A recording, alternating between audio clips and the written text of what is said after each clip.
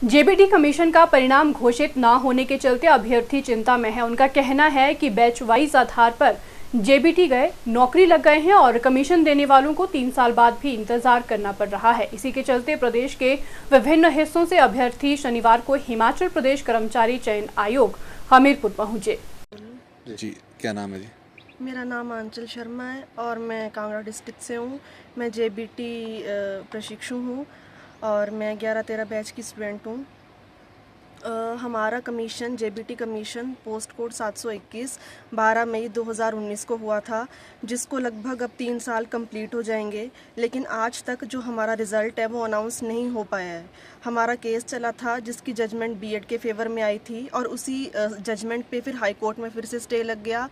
और हमारे कमीशन का रिज़ल्ट जो है उसका हम लोग वेट कर रहे हैं। और इसलिए हम आज बोर्ड आए हैं। हमारी स्क्रूटनी लिस्ट जो है वो लगभग एक डेढ़ महीने पहले आउट हो गई थी।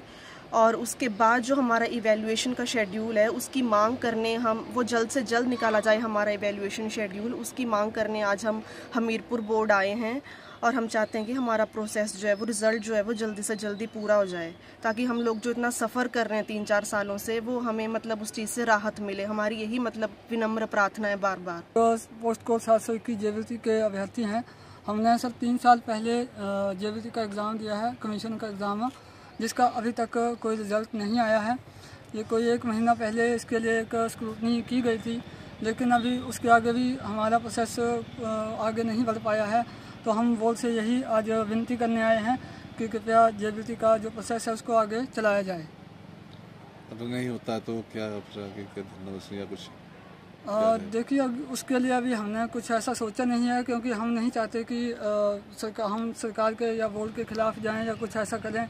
जिसे सरकार की मान हानि हो या बोर्ड की मान हानि हो लेकिन फिर भी हमें अपने अधिकारों के लिए कुछ ना कुछ तो आवश्यक रूप से करना ही होगा। किस तरह की रणनीति रहेगी देखिए रणनीति अभी हमने कुछ इस बारे में कुछ खास अभी बनाई नहीं है।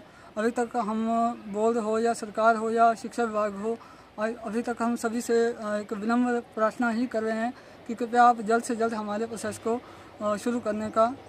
Bureau report city channel Hamirpur.